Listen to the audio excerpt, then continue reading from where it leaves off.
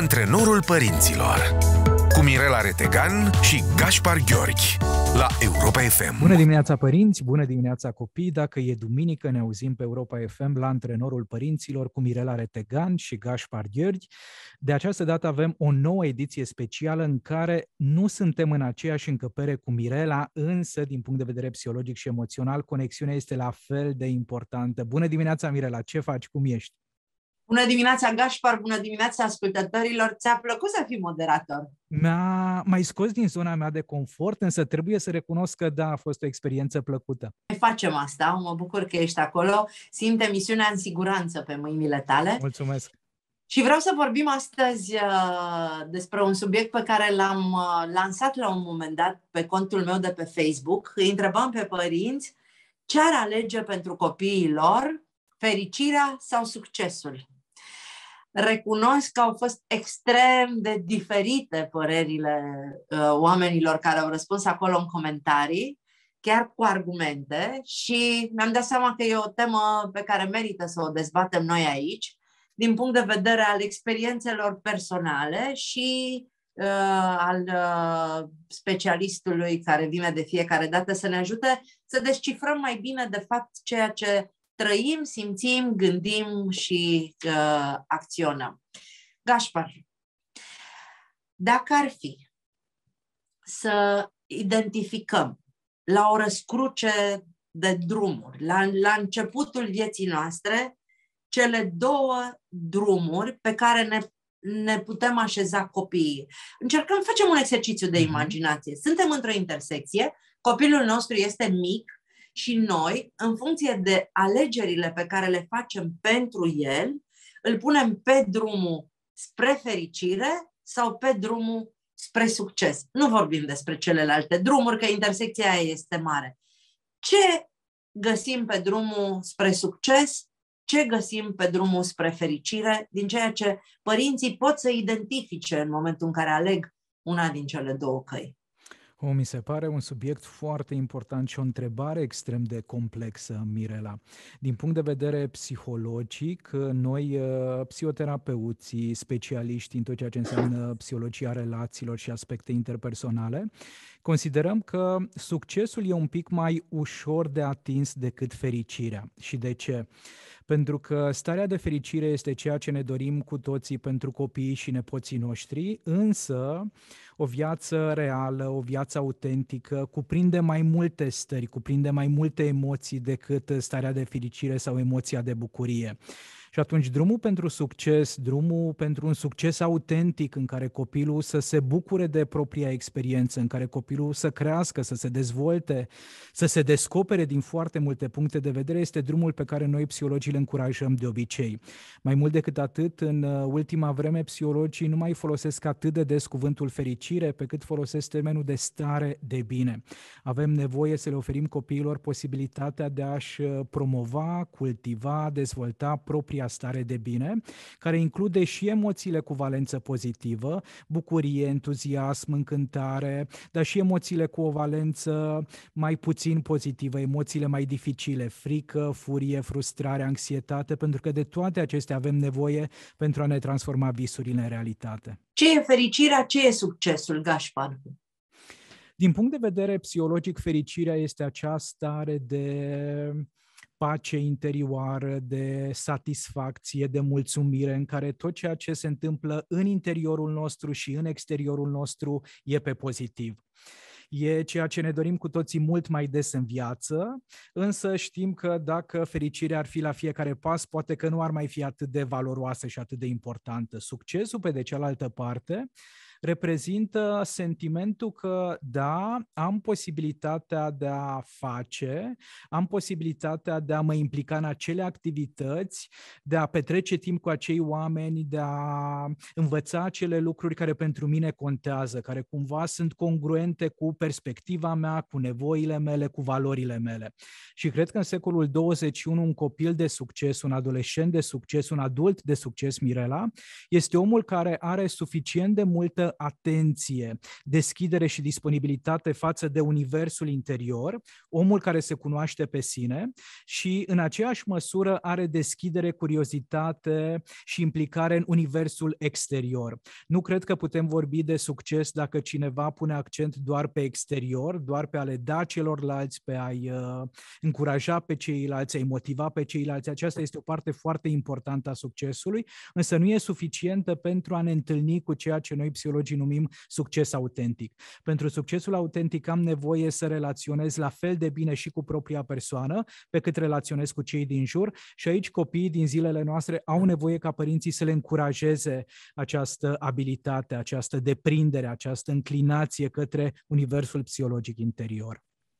Știi, foarte mulți dintre oamenii care au uh, scris la provocarea mea de pe Facebook uh, spuneau că își va alege copilul calea pe care va merge în viață.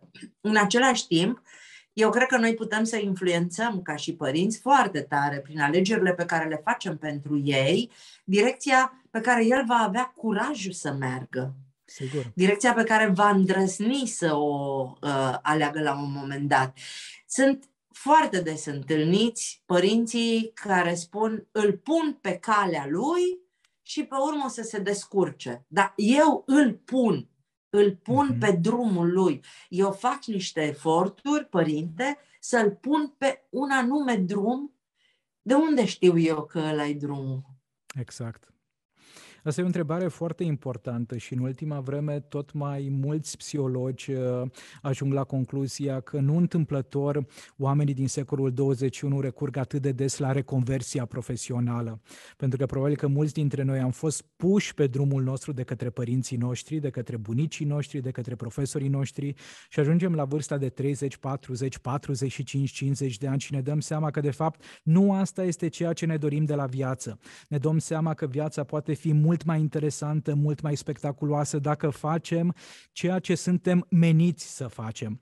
Și aici, Mirela, cred că fiecare copil are dreptul de a descoperi împreună cu părintele care este acest drum în viață. Fiecare copil are dreptul să se răzgândească, fiecare copil are dreptul să facă alegeri greșite, fiecare părinte are dreptul cumva să-și încurajeze copilul într-o anumită direcție, după care să asculte mesajul copilului, feedback-ul copilului și să se răzgândească, să dea dovadă dovadă de acea flexibilitate psihologică și să spună da, în momentul în care erai în clasa a șaptea ne-am imaginat uh, împreună sau poate mi-am imaginat eu mai mult că vei ajunge un om de radio, însă acum în clasa 11, în clasa 12 ne dăm seama că tu de fapt îți dorești altceva, că în momentul în care te implici într-o anumită activitate sportivă, în momentul în care interacționezi cu o anumită persoană face-to-face, atunci apare energia în corp. Cred, Mirela, că ne putem găsi drumul în viață viață atunci când ne simțim corpul plin de energie, exact așa cum se întâmplă cu tine în momentul în care ești pe scenă, în momentul în care te joci cu copiii, în momentul în care vorbești la radio. E atât de multă vitalitate, atât de multă forță, atât de multă putere în ceea ce faci. De acord, dar mama nu știa asta când eu eram mică. Și mama a făcut tot ce a draga de ea, iar o să-i spună, tanti Vera, iar a zis despre tine la radio. Mama a încercat să mă pună pe drumul muncii.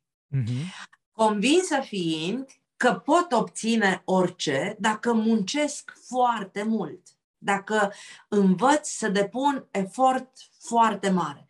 Mama a visat pentru mine și m-a pregătit, m-a învățat să fac o grămadă de lucruri fizic, efectiv, muncă fizică, fiind convinsă că asta îmi va aduce mie succesul și probabil nici nu cred că se gândea la fericire. Uh, s-a gândit doar la profesii uh, care implicau o activitate fizică, vânzătoare, asistentă, uh, ofițer în cadrul armatei, ar fi visat mama pentru mine, lucruri care implicau efort, uh-huh. îmi mhm. dau seama acum, nici o clipă nu m-a pregătit. M-a pus să muncesc, să învăț, să cos, să fac curat, să, uh, să fac toate lucrurile acelea fizice pe care eu le puteam face la vârsta mea. Și a fost felul în care ea a încercat să mă pună pe drumul ăsta. Pe partea cealaltă a venit tata, care m-a tras pe alt drum, care a zis, uite, astea sunt cărțile pe care eu le-am citit, asta e muzica pe care eu o ascult, las-o pe măta și când nu ne prinde ea, tu pune mâna și citește procesul de la Nürnberg și citește Magicianul și citește Shogunul și citește asta că pe mine astea m-au făcut fericită. Mi-a dat colecția Jules Verne în brațe și uh, era seria aceea de povești nemuritoare, dacă mai ții minte. Sigur. Uh, și eu m-am trezit între cele două drumuri, făcând naveta, când pe drumul pe care mă pusese mama, când pe drumul pe care mă așezase tata. Și din punct de vedere psihologic am putea spune că părinții tăi au făcut foarte bine ce au făcut, pentru că mama te-a ajutat să-ți dezvolți disciplina de sine și de asta avem nevoie pentru a ne transforma visurile în realitate. Cred în continuare că inclusiv în secolul 21 copiii, adolescenții, tinerii au nevoie să muncească, au nevoie să uh, diferențieze între comportamentele care sunt prioritare și comportamentele care nu contează atât de mult, au nevoie să aibă grijă de propria, perso- de propria persoană, să se descurce. Deci, pe de o parte, mama ți-a oferit posibilitatea de a descoperi ce poți face pentru tine și pe de cealaltă parte, tata ți-a oferit posibilitatea de a te împrieteni cu lectura și de a visa foarte mult, poate de a te inspira din cărți foarte mult, de a... De a descoperi cât de multe cât de multe posibilități există dincolo de cartierul de ștriaj în care exact, am crescut. Exact, exact, de a avea o viziune mai amplă și mai complexă asupra vieții, ceea ce mi se pare minunat. La tine cum a fost? La mine, lectura făcea parte din viața noastră de familie, doar că eu am fost genul de copil căruia nu i-a plăcut să, să citească și asta din cauza faptului că părinții nu se jucau cu mine. Și cred că băiețelul Gașpar era foarte frustrat că trebuia să meargă să citească sau își vedea părinții citind fără să interacționeze cu ei. Așa că abia târziu în viață am descoperit uh, importanța lecturii și valoarea cărților, iar în prezent uh, relația cu cărțile este foarte, foarte importantă. Însă cred că ce m-a ajutat extrem de mult, Mirela, e faptul că nu au făcut lucruri în locul meu. Am crescut într-o familie în care credința părinților era aceea că dacă un copil poate face ceva pentru sine, să-și lege și returile, să se îmbrace, să meargă la cumpărături, să își pregătească mâncare, atunci nu avem de ce noi în calitate de adulți să facem asta în locul copilului. Și acum gândindu-mă la mama și la tata, nu cred că au făcut nici ei asta conștient. Cred că efectiv contextul de viață era de așa natură încât ne-a condiționat pe toți să ne implicăm în anumite comportamente. Iar acum, în calitate de psiholog, dacă mă uit la propriul trecut, la propriul background psihologic și emoțional, aș putea să-i judec, să-i critic pe părinții mei, însă aleg să fac un lucru mult mai important, și anume să descoper partea pozitivă din tot ceea ce a fost greu. Să descoper care sunt acele lucruri bune care au apărut în viața mea, ă, dincolo de dificultăți, dincolo de provocări și sunt foarte, foarte multe. Gândindu-mă la tema asta, aseară mi-am dat seama că uh, mi-am dat seama cum am acționat eu în relația cu copilul meu și că m-am străduit foarte tare să fac lucruri care să o așeze pe Maia pe drumul pentru succes și m-am străduit foarte tare să nu fac lucruri care să o oprească din a accesa calea spre fericire. Da. Și mi s-a părut extrem de interesant cum pentru succes noi părinții trebuie să facem și pentru fericire de cele mai multe ori trebuie să nu facem. Exact, pentru că succesul e ceva ce ține de energia pe care noi o ducem într-o anumită activitate. Succesul e... Și de șansă. Succesul depinde și de șansă. Sigur, da. Depinde. De context. Din, dincolo de șansă, eu încerc să, să le atrag atenția de cele mai multe ori oamenilor asupra lucrurilor care se află în controlul nostru. Contextul, șansa, nu se neapărat în controlul nostru. Însă ce se află în controlul nostru e vorba ta, Mirela, să am o viziune asupra viitorului, să citesc o anumită carte, să ascult un anumit podcast, apropo de faptul că antrenorul părinților e acum și podcast, să povestesc cu oameni care au ajuns departe în viață și să descoper o serie de lucruri pe care probabil că mintea mea nu le vede atât de clar. Și în momentul în care voi reuși să am mintea și inima deschise, cred că starea de fericire va veni mult mai simplu și mult mai ușor. Pentru că în momentul respectiv o să-mi dau seama că sunt mai important decât aș fi crezut și poate mai uh, valoros pentru această lume decât mi-ar fi spus cineva vreodată. Iar în ce privește fericirea? Iar în ceea ce privește fericirea, cred că dacă deja ne întâlnim cu acest succes autentic și încă o dată spun, din punctul meu de vedere, succesul nu ține de rezultate. Succesul nu ține neapărat de numărul de diplome sau de premii pe care îl primește copilul, pe care le primește copilul. Cred că înainte de toate succesul ține de relația pe care o am cu propria persoană și cu oamenii din jur. Iar dacă aceste conexiuni sunt definite de încredere, de siguranță, de speranță, în momentul respectiv e imposibil să nu trăiești și starea de bine, starea de fericire un pic mai des decât dacă ai fi forțat, condiționat să te implici într-o serie de activități care nu-ți fac plăcere.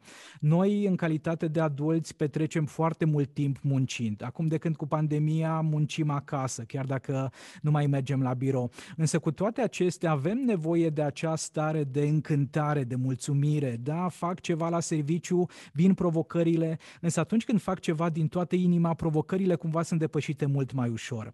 Dacă fac ceva doar pentru a-i mulțumi pe părinții mei, doar pentru a câștiga bani, doar pentru a avea faimă, vizibilitate și așa mai departe, cred că acolo nu vorbim nici de succes și nici de fericire. Vorbim poate de rezultate pe care cei din jur s-ar putea să ne invidieze, însă corpul nostru, emoțiile noastre, sufletul nostru nu rezonează cu toate aceste aspecte.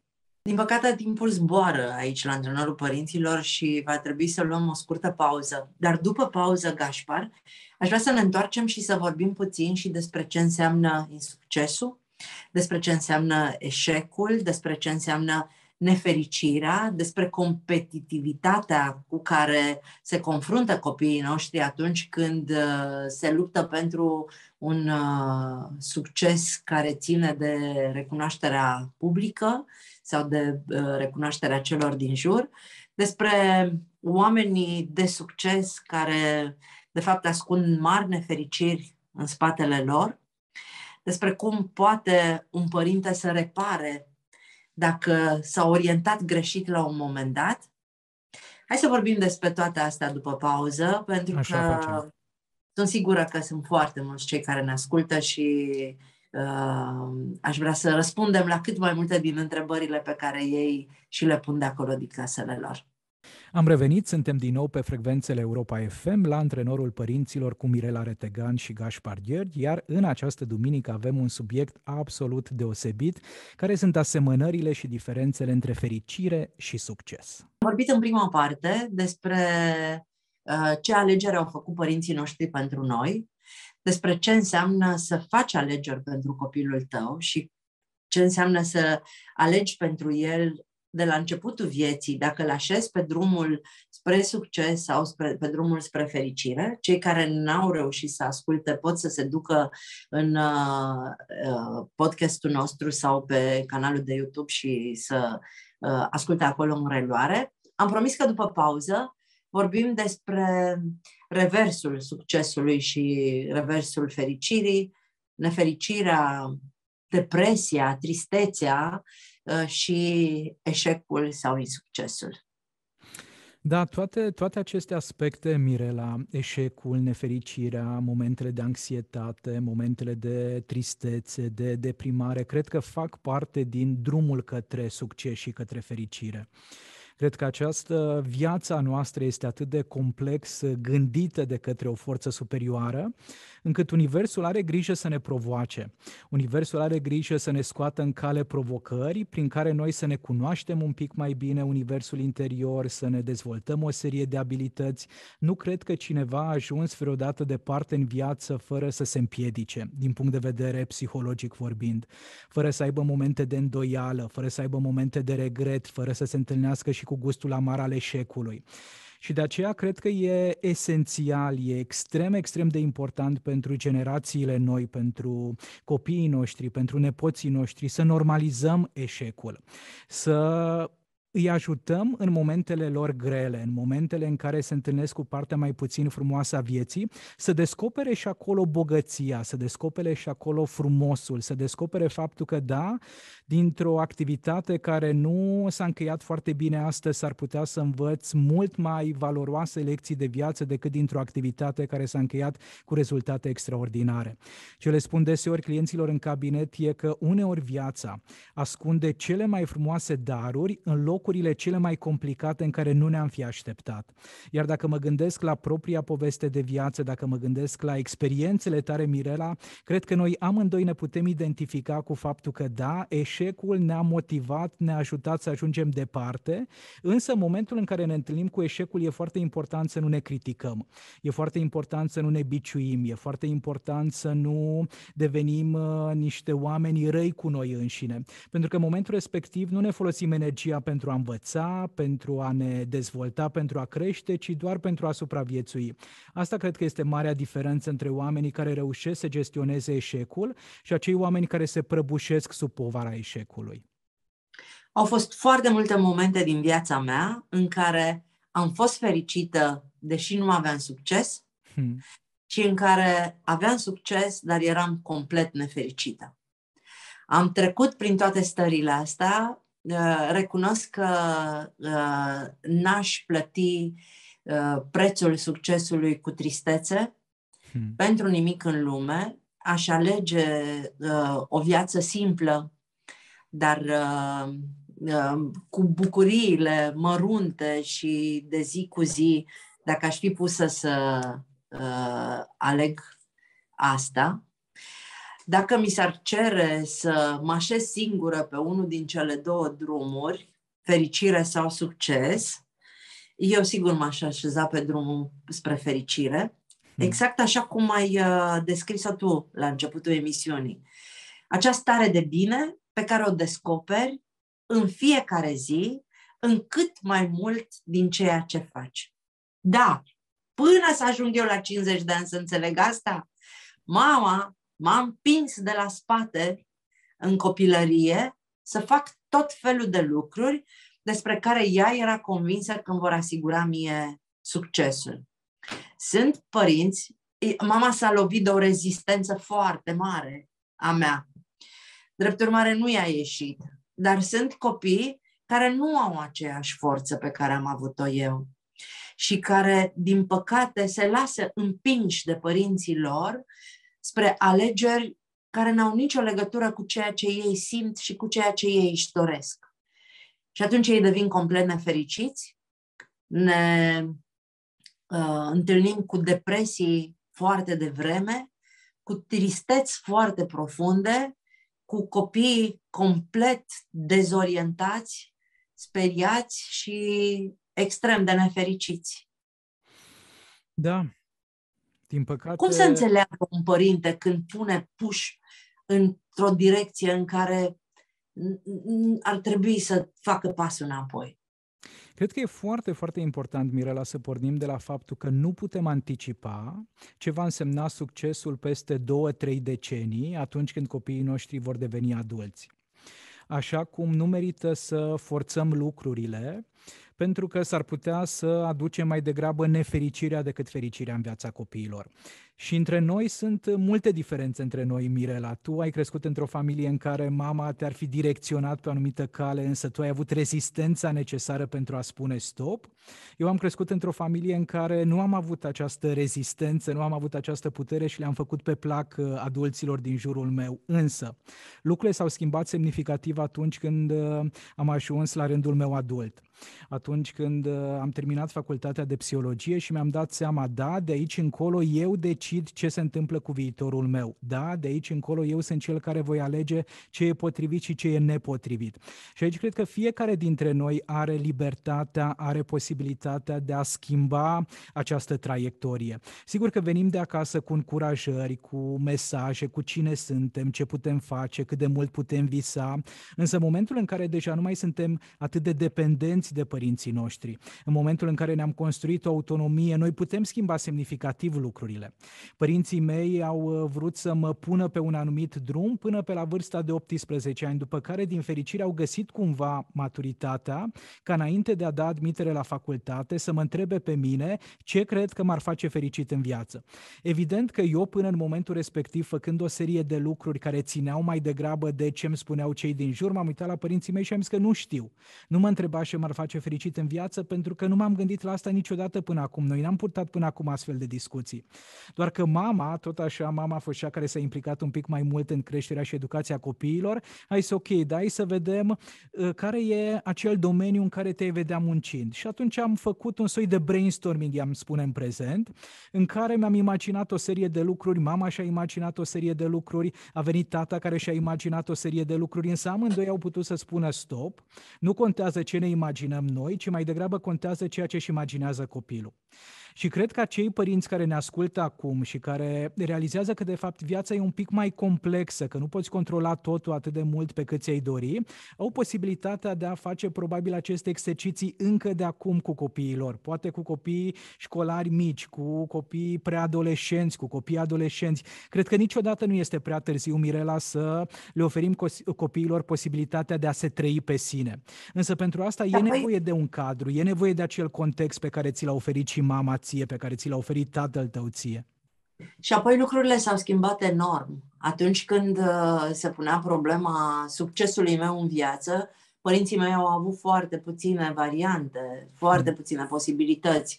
Erau câteva meserii pe care le puteai face, erau câteva joburi în care visai să ajungi. Era foarte clar. Eu știi, am știut de la început că uh, tot ceea ce îmi doresc să fac are legătură cu copiii. Mă vedeam profesoară. Nu puteam să mă duc mai departe de atât. O profesoară și pentru că proveneam dintr-o condiție modestă, mă gândeam la o profesoară la țară, nu, nu îndrăzneam să visez că aș putea să fiu profesoară în, la oraș, undeva, la o școală dintr-un oraș. Și dacă tot mă duc la țară, bunica s-a gândit că ar fi bine să mă mărit cu popa satului. și atunci eu îmi imaginam ce spectacole o să fac eu cu enoriașii, pentru că în zona asta uh, mintea mea visa să, de fapt, să aducă fericirea oamenilor și să-i facă să se bucure de evenimentele frumoase din, din viața lor. Dar nu știam atunci că eu voi putea să inventez un proiect în care să urc pe o scenă și de pe scena aia mii de oameni să rezoneze cu mine în același timp, să creez un canal de YouTube care are două milioane de oameni wow. care se hrănesc de acolo, să fac o emisiune la televizor, să se uite milioane de oameni, să fac cu tine antrenorul părinților pe care îl ascultă 500 de mii de români din toate locurile, să scriu cărți. Eu fac același lucru pe care mi l-am dorit toată viața și pe care am știut undeva în sinea mea că vreau să-l fac în moduri în care habar n-aveam acum 30 de ani că mă pot manifesta. Și asta cred că e partea foarte frumoasă a vieții, Mirela, că nu putem controla viitorul, însă putem face ceva în prezent ca nouă și copiilor să le fie mai bine. Astăzi e foarte, e și mai greu decât era înainte. Pentru că astăzi copilul meu are atât de multe posibilități încât nu mai are răbdare să se gândească uh, și să descopere și să dezvolte, să aprofundeze ceva, pentru că, și asta e problema acestei generații, se mută foarte repede, se plictisesc foarte repede și trec, sau poate din potrivă, înțeleg foarte repede că nu e locul lor acolo și se mută în altă parte și noi, părinții, ne uităm de pe margine și suntem speriați da. de această instabilitate, de fapt, din alegerile lor. De aceea le reamintim noi ascultătorilor de la antrenorul părinților că e atât de important să trăim în prezent în secolul 21. Într-adevăr, psihologia zilelor noastre, Mirela vorbește foarte mult despre paradoxul alegerilor. Noi, în momentul în care eram la început de drum, probabil că aveam de optat între două, trei meserii. Acum, într-adevăr, tinerii zilelor noastre au atât de multe perspective, atât de multe posibilități și opțiunile sunt mult mai multe la număr. Însă, cu toate acestea, Mirela, cred că în sine, esența esența ființei umane nu s-a schimbat atât de mult.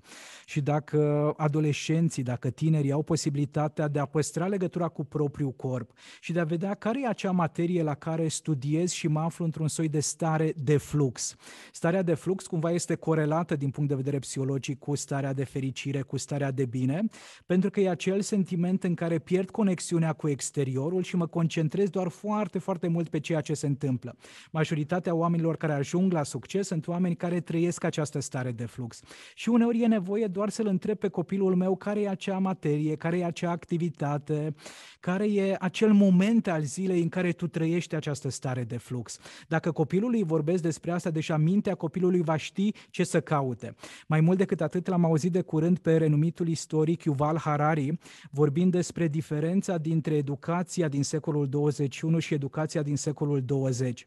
În secolul 21, educația copiilor trebuie să fie mult mai flexibilă. În secolul 20, educația era ca fundația unei case foarte, foarte solidă, din uh, uh, materiale foarte grele pentru a oferi stabilitate. În zilele noastre, educația ar merita să semene, spune Harari, cu a-ți ridica un cort pe care după aceea poți foarte ușor să-l demontezi și să-l mhm. ridici în altă parte. Să ai acea libertate de mișcare, să ai acea flexibilitate care să-ți ofere posibilitatea de a ține pasul cu zilele în care trăiești, care îți oferă posibilitatea cumva de a te reinventa dacă simți că da, timp de o anumită perioadă de timp ai făcut ceva ce doar a fost un context de descoperire, nu neapărat drumul tău în viață. Pentru că acel cort este ceva pe care poți să-l construiești tu cu forțele tale, oriunde, oricând, în timp ce o casă implică arhitect, șantier, muncitori, o grămadă de oameni de care e nevoie și dacă ea te lasă baltă, tu rămâi cu casa în